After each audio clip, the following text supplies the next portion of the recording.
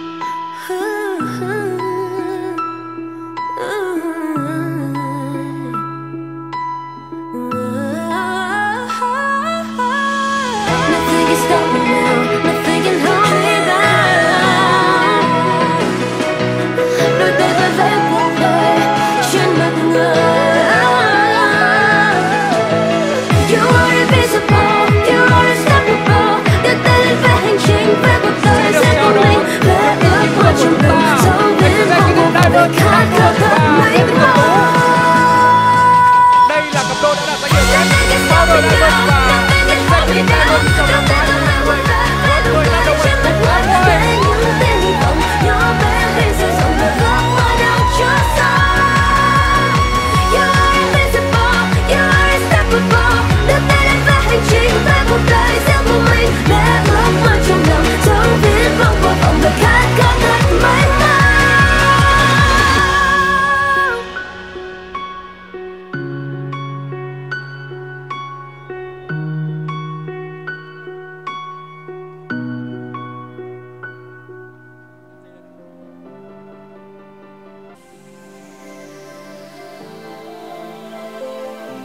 Vâng, vô cùng tuyệt vời đúng không ạ?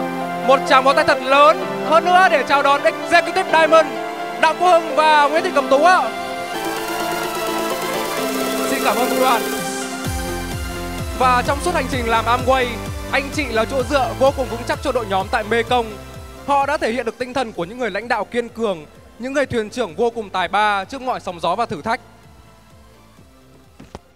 Và ngày hôm nay để chúc mừng cho thành công rực rỡ của Executive Diamond, Đặng Quốc Hưng và Nguyễn Thị Cẩm Tú, ngay sau đây Tài xin mời anh Huỳnh Thiên Triều, Tổng Giám đốc Công ty Amway Việt Nam và chị Nguyễn Thị Lệ Uyên, Giám đốc Kinh doanh Amway Việt Nam sẽ lên sân khấu để trao pin bằng danh dự và kỷ niệm trường cho Executive Diamond Đặng Quốc Hưng và Nguyễn Thị Cẩm Tú ạ.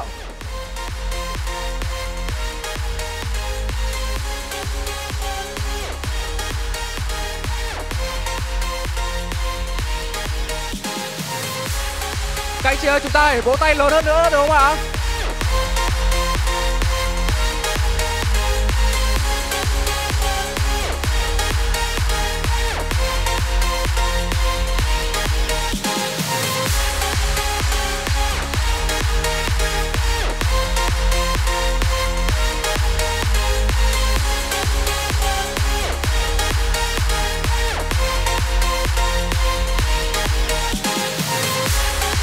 Vâng, xin cảm ơn sự cổ vũ các anh chị ạ.